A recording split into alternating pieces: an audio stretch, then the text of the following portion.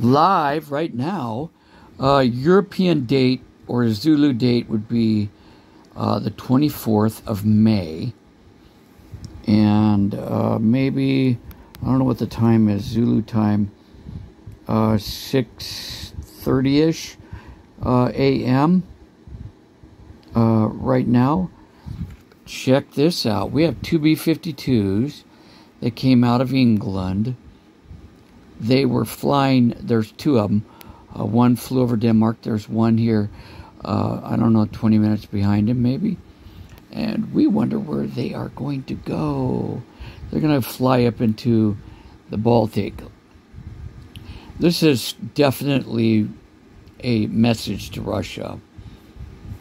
Now, obviously, um, I'm not giving away international secrets because uh, anybody with a flight tracker ground station can pick up the uh, ADSB signal being sent from these aircraft to uh, the ground receiver and then pumped on to the internet.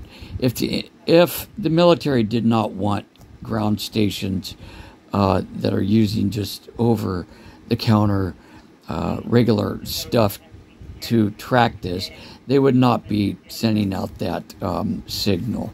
This is definitely a message. Now, I'm curious uh, what the route will be.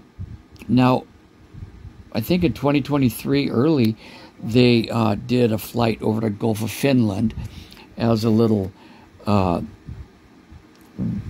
uh, uh intimidation or a, a, little message to uh, the Russian Federation. Hey, we're here, but look at this. Look how close the B 52s are to St. Petersburg. That is crazy.